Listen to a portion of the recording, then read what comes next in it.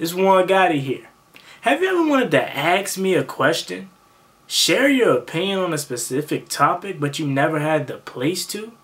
Well now you do as I will be starting up a new series that will be airing weekly where you can ask me all of the type of questions that you want in regards to the Commanders, the NFL, or just the whole entire sports world. You can email me now at askjuangotti at gmail.com all of your questions. And once we get enough feedback, the first episode will be airing. Again, you'll have the opportunity to ask me any kind of questions that you want. Hey Juan, what do you think about this player? Hey Juan, what do you think about this coach? Or my Commanders fans out there, hey Juan, what do you think about the sale? This is my opinion on it. What do you think? You now have the opportunity to do that. I would take full advantage of that if I was you out there. Hit my email up now at askjuangotti at gmail.com with your questions. Again, that's askjuangotti at gmail.com with your questions.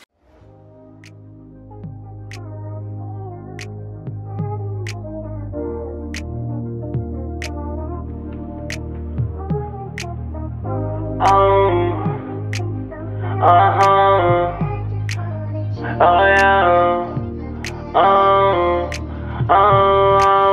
Wait a minute, girl, can you slow down? Wait a minute, girl, what's the rush now? I wanna introduce myself to you. My name is one-on-one guy to prefer now. I like the way you put your fists together. I like the way you do your hair in the morning. I see why all the boys want you. YouTube, what's going on? It's Juan Gotti here. We another Washington Commanders video, and in today's video, I'm coming on here with my five most important positions that the Washington Commanders need to draft in this year's NFL Draft. So without further ado, let's get straight into today's video. But before we do, make sure you guys go down below, leave a like on this video, subscribe if you're new, and turn on post notifications so you get notified when I upload a video about the NFL, or in this case, our Washington Commanders. We're on the road to 6,000 subscribers subscribers. So please hit that subscribe button again if you haven't already. Thank you so much. Let's get straight into today's video. So the Washington Commanders, they have I would say a, good amount of positions that they need to address um, in this year's draft. Now, it may not be necessary like starters, per se because we pretty much have a really really good roster as far as like our starters goes. For me it's more so the depth. Now does that mean you draft depth guys in the first round? No. Obviously you still want to draft guys that are going to come in and make an immediate impact but what i'm telling you is i know it may not look like it from you know the outside world but us as fans that follow this team every single day we know this team is pretty good on paper and on the field too. We just it just so happens that we lack the consistency and the the goodness of the most important position in football. You're telling me if the Washington Commanders had Jalen Hurts last year, Patrick Mahomes, any one of these top guys in the NFL last year, we wouldn't have been a playoff team.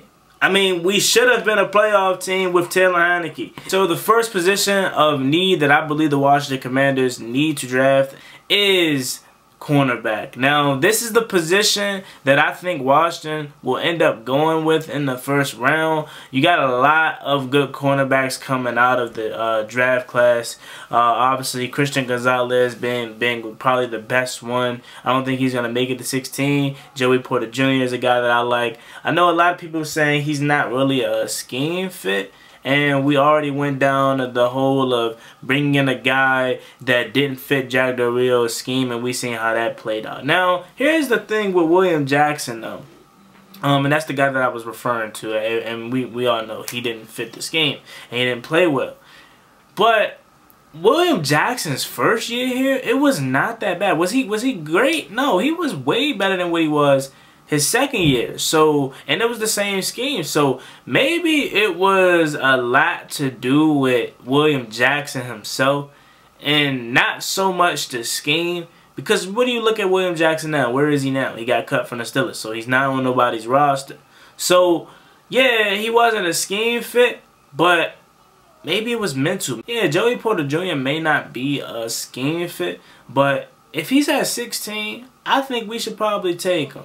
Um, because he's a really good talent. He's fast. He can play outside, inside, um, wherever you need him. And um, he's a quick guy. Uh, and he and he, he fits everything. Now he's he's like he has the perfect height for me. Um, and he, he ran a solid 40. You know, it wasn't the best. I know he I know he's much faster than come game time. But uh, Joey Porter Jr. is a guy that I would like. Um, another guy that a lot of people is now taking a liking to, including myself, is Devon Witherspoon from Illinois. He's another guy that I would like for Washington to possibly take in this year's draft. Uh, branch guy from Alabama. If you want to go like kind of Swiss Army knife to the source of the defense, you can go his route. Um, and now let's say Washington throws a wrench in our plans and know they don't go to what we expect. Let's say they go a different position in the first round. Ringo is a cornerback that you could probably take a chance on in the second, third round, maybe. Uh, maybe I don't think he makes it out of the second, but it's a lot of good cornerbacks that you can take. Moving on to the next uh, position uh, I think Washington should address is going to be linebacker. Now, you guys know how I feel about the linebacker position. I was so hurt that we let Cole Holcomb walk, especially for the price. Now, if Cole Holcomb was asking for something crazy, uh, then okay, I understood it. But six million dollars we couldn't take him away from Pittsburgh that's crazy now I'm, I'm kind of over it now I'm gonna move forward with Cody Barton but that's not enough okay Cody Barton and Jamin Davis is not enough uh, I know we got Khaleke Hudson, and that's a guy that I want us to actually utilize more this year. He showed what he can do in that Dallas Cowboys game. My biggest fear is that they won't do that, though.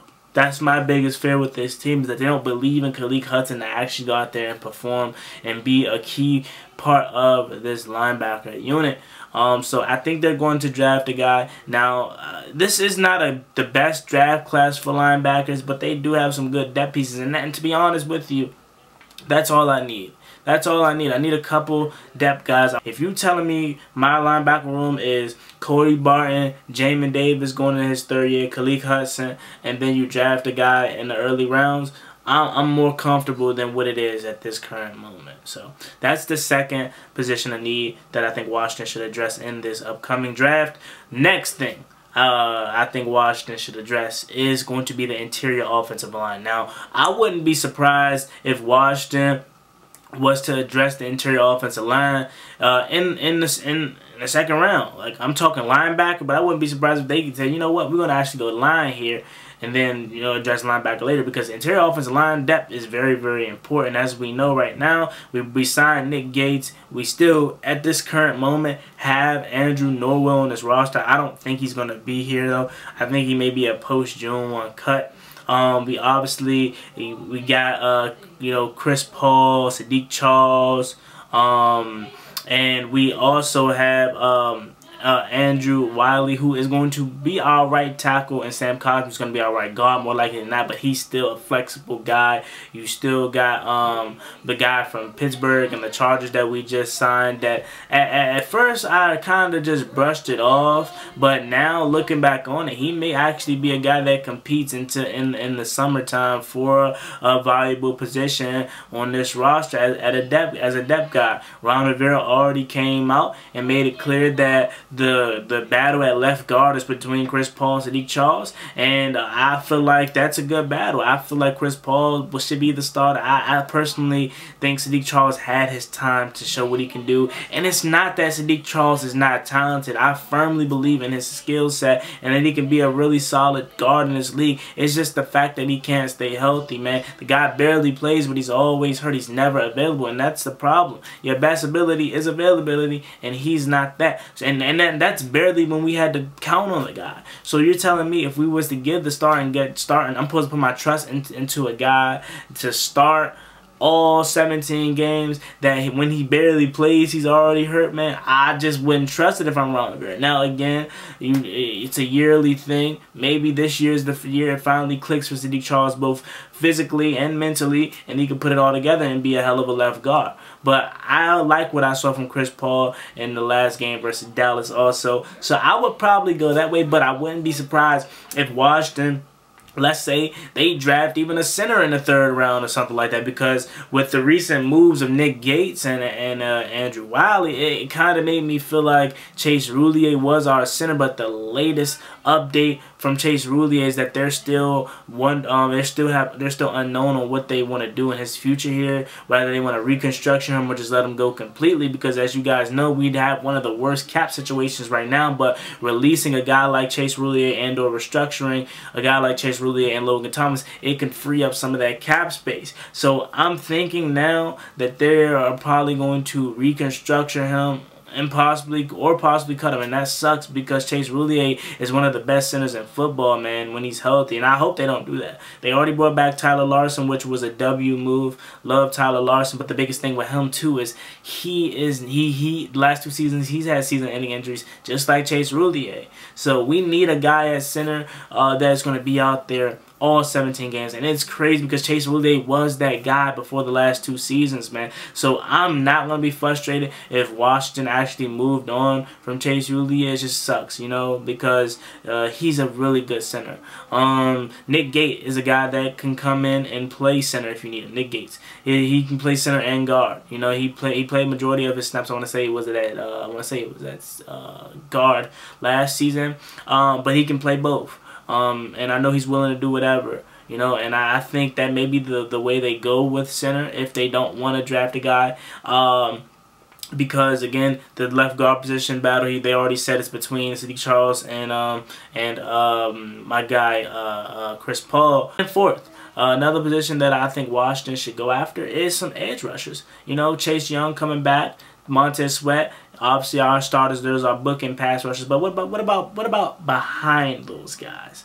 You know, you got Efe Obada, who he brought back. He's cool, had a really solid season. I like what I saw from James Smith-Williams, and you got Shaka Toney still here. But what about more? You know, what about guys that are going to come in and compete to actually contribute when Chase Young like Chase Young goes out? You know, Casey Toohill is another guy that I that I take take the liking to last year. But those are still not guys that I I, I want to rely on. Okay, those are guys that you have around that are you know make a play here and there. But I want to have one of these guys where you take Chase Young out for for a couple plays, and this is a guy that you know uh, comes in and picks up right where he left off. Last and final position that I think the Washington Commanders should address in this draft is kicker. Yeah, I know we got Joey Slye, but we need to draft somebody that's going to push this guy, okay? He doesn't necessarily have to come in and take Joey Slye's job, but at least make him work for it in the training camp. This is where I think we went wrong with Dustin Hopkins, is we allowed him to get too comfortable. We didn't bring in no competition during training camp to at least push him and make him earn his spot. I think we need to do that with Joey Slye because last year he missed a ton of huge kicks.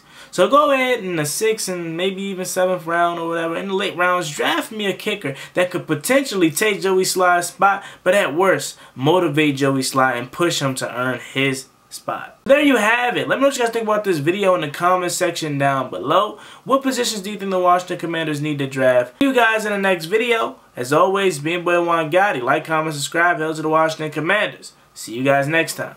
I'm out. Peace. Uh, me one time, that's gonna get you pop, get you pop, uh, get you drop, uh, slide on the one where they get you on. Outside, give me an autumn. Shots his head, ring his bell like